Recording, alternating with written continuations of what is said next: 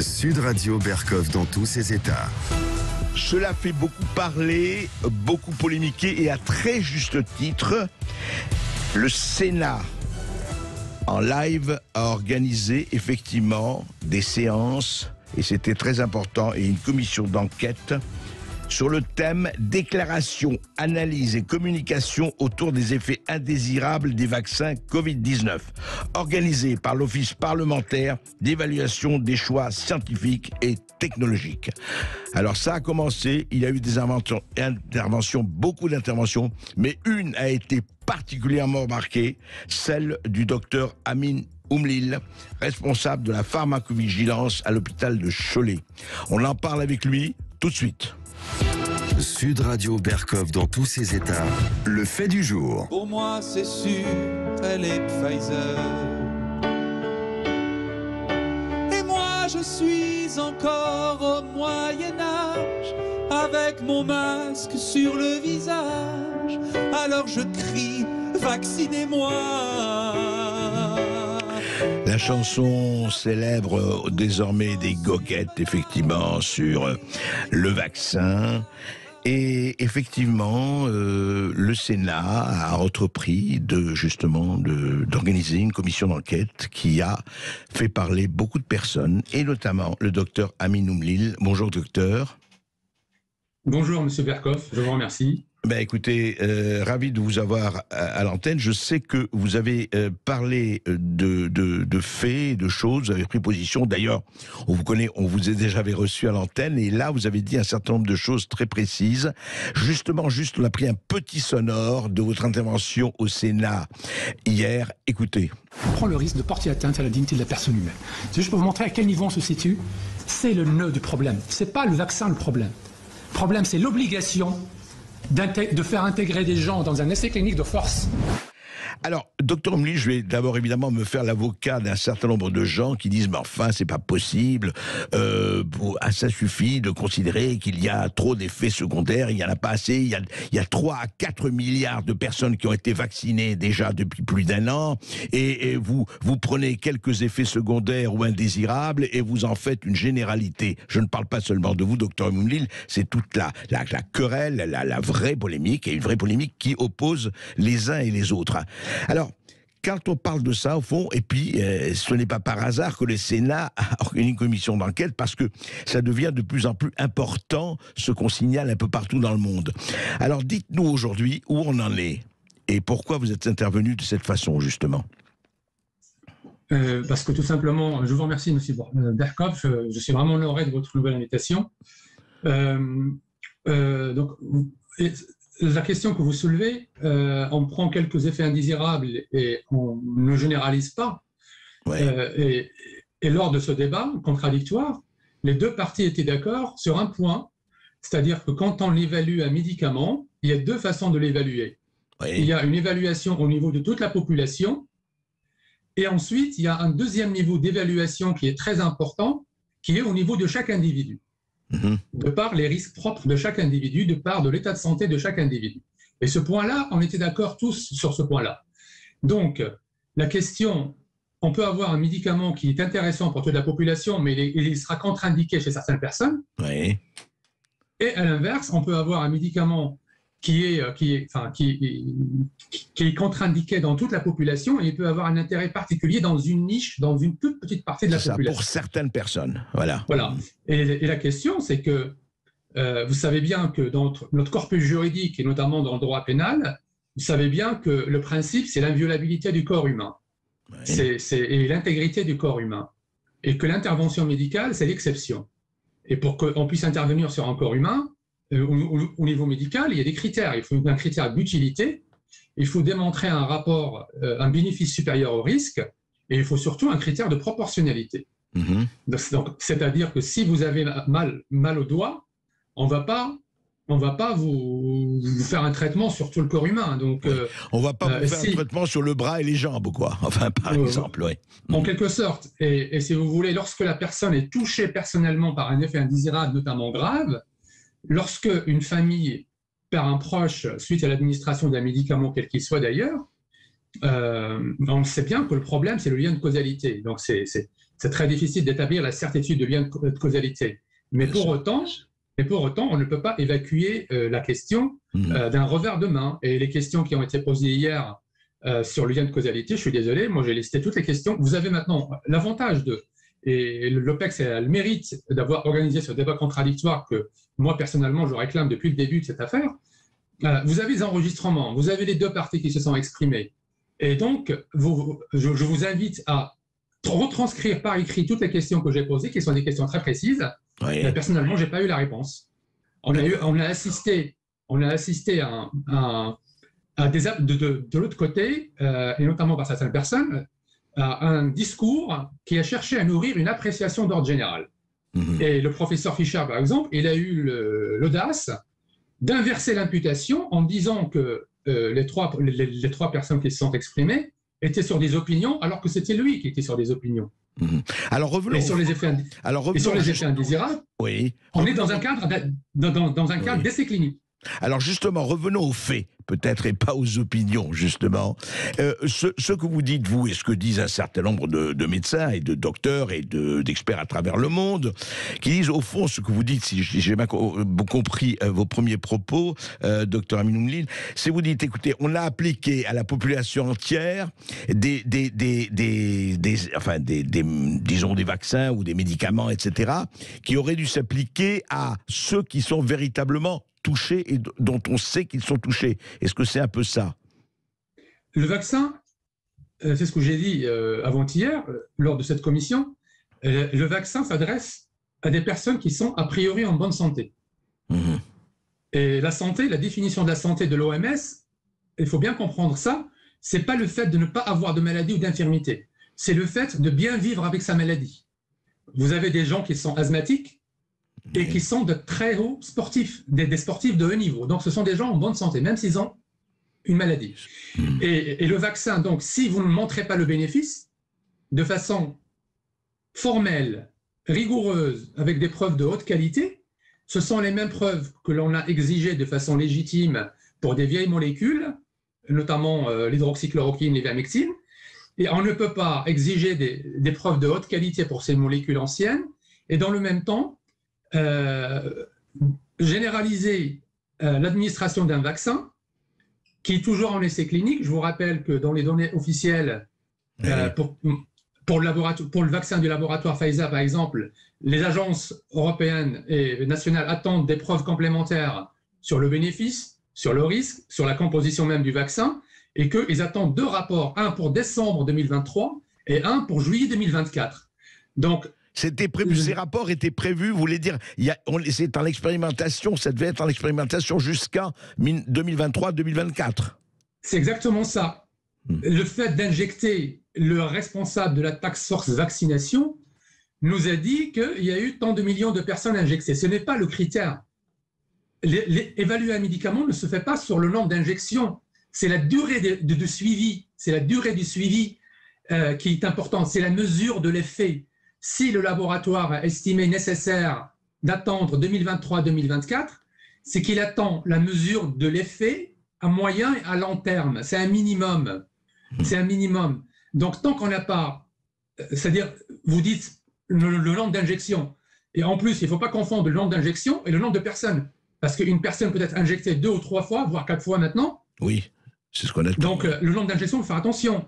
Hmm. Donc, c'est la durée. On peut injecter plusieurs personnes, des millions de personnes à un temps T0, mais il faut voir ce qui va se passer à temps plus deux ans.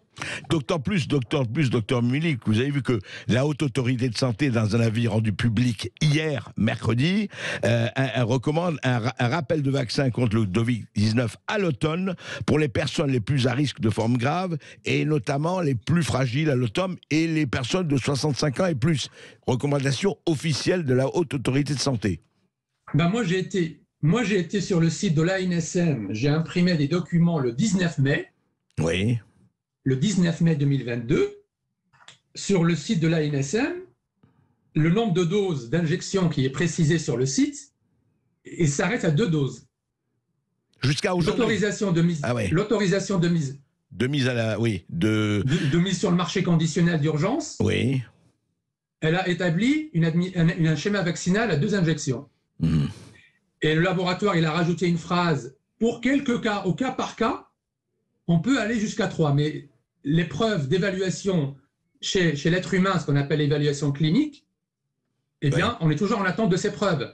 Donc, je ne sais pas comment ils font pour proposer troisième et quatrième. Et si vous allez voir les, si vous allez voir même le- la note d'alerte du conseil scientifique lui-même, qui date euh, du 20 août 2021, Oui. il avait dit que pour la troisième dose, on n'a pas, on n'a pas de preuve, on n'a pas de, de preuve d'efficacité du rapport bénéfice-risque favorable. Oui. Et je vous faire remarquer qu'hier, il y a une question qui est restée sans réponse sur les compositions du vaccin.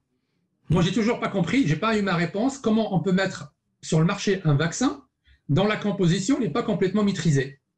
Et donc, la directrice de l'Agence nationale de sécurité du médicament Oui. m'a répondu que euh, la composition initiale est toujours là. J'ai les trois compositions actuellement disponibles que j'ai imprimées du site de l'ANSM. Il y a deux compositions pour l'adulte Oui. et une composition pour l'enfant. Et je suis désolé, la composition initiale qui a été mise sur le marché en décembre 2020 ne figure plus sur le site de l'ANSM. Et quand elle dit qu'elle a informé, moi personnellement, en tant que praticien hospitalier, je n'ai rien reçu. C'est moi-même qui a révélé cette, cette- cette pluralité de composition de ce vaccin euh, lors d'une expertise que j'étais amené à faire dans le cadre euh, d'une procédure judiciaire pénale Mhm. suite au décès d'un jeune et que j'ai découvert par hasard que la composition avait changé et qu'il y avait plusieurs compositions maintenant Vous voulez dire, docteur Umlil, qu'il y a là, sur le, la- le- sur le site de l'ANSM, trois compositions différentes? Il y a trois. La directrice, oui, la directrice l'ANSM, elle a reconnu effectivement Ouais. qu'il y avait maintenant trois compositions différentes, deux pour les, les adultes Et à une partir de enfants. 12 ans. Mhm. Donc il y a une composition adulte à diluer, une composition adulte prêt à l'emploi, et vous avez une composition pédiatrique pour les enfants de 5 à 11 ans. Et je vous rappelle aussi que Madame la sénatrice, Madame Braun-Muller, Oui. Dès le début, elle a posé une question à laquelle on n'a pas eu de réponse. C'est-à-dire, elle a posé la question comment se fait-il que des enfants, plus de 22 000, plus de 22 000 enfants, euh, selon un article du journal Le Monde qu'elle a cité du mois de novembre 2021, comment Oui. se fait-il que ces enfants, ils ont été vaccinés avant l'autorisation de mise sur le marché Hmm. Même des enfants de 0 à 4 ans ont été vaccinés, avec des doses adultes? Et on n'a pas eu la réponse pourquoi? Comment se fait-il que des médecins ont injecté des enfants avant que les autorités De sanitaires... 0 avant à que les 4 ans, vous êtes sûr Parce qu'il n'y a, pas- a eu d'autorisation de vacciner les enfants de 0 à 4 ans. Je, je... Eh bien justement, c'est la question que la sénatrice a posée Ouais. d'entrée de jeu. Et on a eu... c'est- Vous avez l'enregistrement, Monsieur Berkoff, toutes les questions précises posées, y Ouais. compris par des sénatrices, Madame Braun-Muller notamment. Oui, oui. On a eu... Ils ont esquivé, ils esquivent les réponses. Hmm. Donc, je vous invite à retranscrire les questions précises posées par les uns et les autres. Oui, Et vous allez remarquer qu'ils ne répondent jamais aux questions précises. Restez avec nous, docteur Umlil. Restez avec nous. Nous allons continuer euh, cet entretien. C'est passionnant. Après une petite pause, à tout de suite. Sud Radio Berkov dans tous ses états. Et nous sommes toujours avec le docteur Amin Oumlil, pharmacien responsable de la pharmacovigilance à l'hôpital de Cholet. Docteur Oumlil, quand même, cette question, juste un moment, parce qu'on va parler ensuite de, de, de l'avenir, mais cette question quand même de la sénatrice, euh, je ne sache pas, mais alors parce que c'est une chose énorme dont personne n'a parlé. On aurait vacciné 20 000 enfants en France ou, ou ailleurs, je ne sais pas où dans le monde, de 0 à 4 ans, parce que jusqu'à présent, les autorisations, c'était à partir de 5 ans, de 5 à 11 ans. Ça me paraît énorme, c'est pour ça que je, je vous repose la question. Oui, je vous invite à écouter la question de Madame la sénatrice. J'ai retrouvé l'article du Monde dont elle a parlé, D'accord, mais on va le qui m'a faire. été, en- qui Oui. m'a- qui m'a été envoyé, qui m'a été envoyé la veille. Je le connaissais pas non plus. Oui. Il m'a été envoyé la veille par des parents. Euh, donc, ce sont les- un article du Monde, les décodeurs.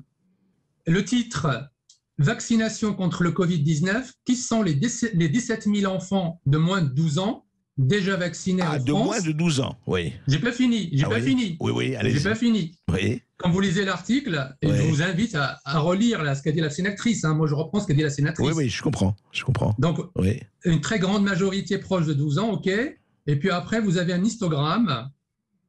Et dans l'histogramme, il y a, euh, attendez, il y a euh, une tranche de 0 à 4 ans, ensuite de 5 à 9 ans, et ensuite de 10 à 11 ans. oui. Donc, il y a bien euh, il y a Oui. bien, je crois, plus de 4000, plus de 4000.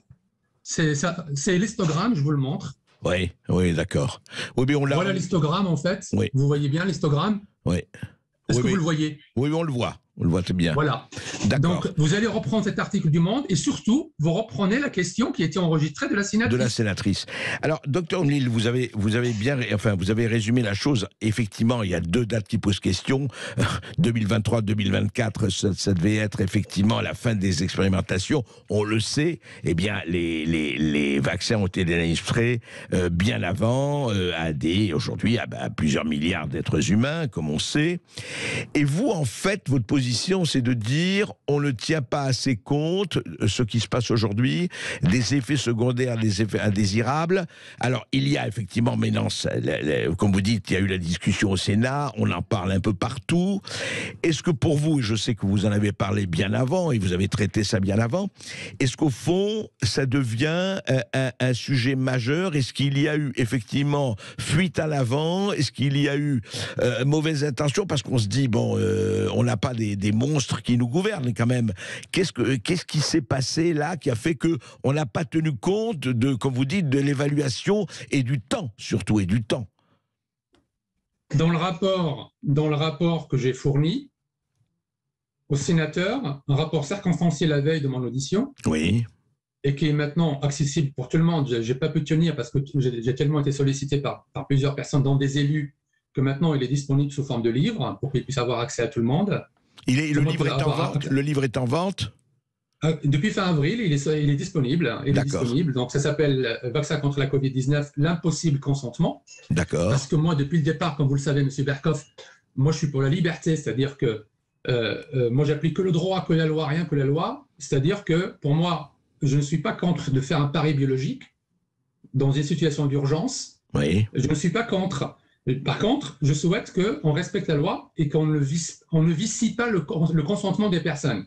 Mhm. C'est-à-dire, euh, si une personne veut se vacciner avec un produit qui peut évaluer, c'est son droit. bien sûr. Si une personne, c'est ce qu'on appelle les rapports au risque. Il y en a qui ont plus peur du Covid, ils veulent se vacciner, c'est leur droit absolu. Et il y a des personnes qui ont plus peur du vaccin, ils ne veulent pas se vacciner, il faut respecter leurs droits. Mhm. Donc c'est l'obligation qui cause problème, si vous voulez. C'est ça. Et l'information, le nœud du problème, le nœud du litige, c'est l'information. Et moi, j'étais surpris d'apprendre que les affiches publicitaires euh, qui ont été utilisées, qui, sont, qui diffusent un message qui est complètement contraire à la loi et aux critères requis par, le- par, par le Code de santé publique en matière d'information, j'étais étonné d'entendre le représentant de la Task Force Vaccination le dire qu'il a fait de l'humour. Mmh. Qu'il a fait de l'humour. Donc, je ne suis pas certain, je ne suis pas certain Ouais. que les familles qui ont été touchées par des effets indésirables et dont, et, dont ces familles ont le sentiment, Ouais. je, je n'établis pas de lien de causalité avec certitude avec ces- Non, on ne vaccins. peut pas le faire, bien sûr. Voilà, donc je ne suis pas certain que les familles qui ont Mhm. entendu ça, l'humour, et qui, et qui sont touchées dans leur... Et qui sont en souffrance parce qu'ils ont perdu un proche, je ne suis pas certain qu'ils vont apprécier ce, ce genre d'humour. genre Oui, et euh, docteur euh, Aminoum. Et ils ont dit, on n'a obligé personne à se vacciner. Oui, c'est ça. Or, oh, chacun sait, et ça on le sait avec le pass vaccinal, avant le pass sanitaire, et on sait très bien pour les 15 000 soignants qui ont, qui ont été suspendus sans autre forme de procès, qu'au fond, si vous ne voulez pas vous vacciner, eh ben, le travail, les sorties, etc., ça va être beaucoup plus difficile. Ça, effectivement, pas de vaccination obligatoire, mais euh, le, enfin, il faut le dire aujourd'hui, je crois, le pass vaccinal, ça a été le cache-nez de la vaccination obligatoire. Mais le ministre, monsieur le ministre des Solidarités et de la Santé, monsieur Olivier Véran lui-même, il nous a expliqué que le pass, c'était un- une obligation déguisée. Ouais, il l'a dit. Déguisée. Donc c'est quand même vous, les gens qui ne sont pas des techniciens du médicament. Donc vous avez un, un- un échange contradictoire. On peut, on, peut, on, on peut supposer que les gens, ils ont été perdus dans les, dans, dans les échanges techniques, etc. Bien sûr. Et là, vous avez un élément que tout le monde peut comprendre, que tout le monde a vécu dans sa, dans sa vie quotidienne, pour manger un sandwich, les plages dynamiques, euh, tout ce que vous voulez. Vous avez vécu quelque chose de concret et tout le monde sait que les personnes ont été obligées de se vacciner pour pouvoir continuer de vivre à peu près normalement. Et là, ils ont eu l'audace de vous dire, on n'a obligé personne à se vacciner. Donc là, vous avez un élément euh, qui, permet d'a- d'apprécier la bonne ou la mauvaise foi de tel ou tel parti. Vous avez d'ailleurs, je, cite ici le, le, Véran, euh, Olivier Véran, euh, le pass est une forme déguisée d'obligation. On ne peut pas vivre dans la peur parce que des millions refusent de s'inoculer. Ce sont les paroles d'Olivier Véran, effectivement. Et comment vous voyez, juste une dernière question, euh, docteur Omlil, la suite, c'est quoi? Continuer effectivement à discuter de ça, continuer à creuser, continuer à informer C'est quoi la suite pour vous? C'est toujours, hein, moi depuis le début, le nœud, le nœud du problème, c'est l'information. Donc, je vous rappelle ce qui a été publié, je l'ai rappelé encore une fois. Euh, moi, je ne comprends pas ce que la NSM des fois publie. Donc, il y avait une bonne nouvelle le 26 avril 2022 sur leur site. Ils nous disent enfin, enfin, on a un article bon usage des vaccins et des médicaments indiqués dans la Covid, mise en place d'une communication non promotionnelle à destination des professionnels de santé. Mhm. Et là, vous avez le paragraphe, on a l'impression que c'est un, un permis de diffuser des informations inexactes. Je vous cite, l'évolutivité permanente et rapide de la stratégie vaccinale ou thérapeutique, ainsi que des données de sécurité et de bon usage, est incompatible avec l'obligation de diffuser auprès des professionnels de santé une information exacte et à jour. Ça veut dire quoi ça? Ça veut dire qu'on est, on est, on est autorisé, on serait autorisé, de par la situation, à diffuser des informations inexactes et caduques. C'est pas possible de lire un truc pareil sur un site d'une agence nationale.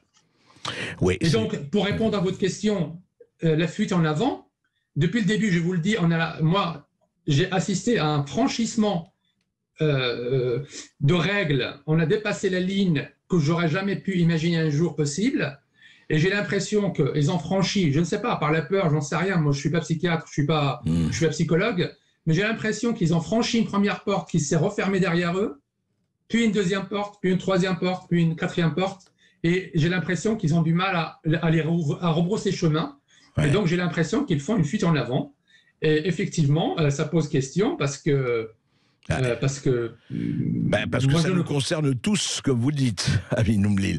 Merci. Je sais, mais moi je ne comprends pas. Je ne comprends pas. Moi j'ai assisté à une double peine, hmm. à l'effondrement des règles de prescription de, de mes règles pharmaceutiques de, qui, qui, enfin, qui était consacré pendant des décennies. Et en plus, j'ai assisté à, un délitement de toutes les règles, de toutes les dispositions qui vont des conventions internationales euh, jusqu'à notre droit national, en passant par le droit européen, par le, tout ce que vous voulez. J'ai assisté à un véritable effritement euh, des règles en matière d'information du public, notamment sur le rapport bénéfice-risque des médicaments. Donc tout ça. Euh, et tout ça, on en fera le bilan. En tout cas, merci Aminoum Lille pour tous vos éclaircissements et on continuera d'en parler avec vous.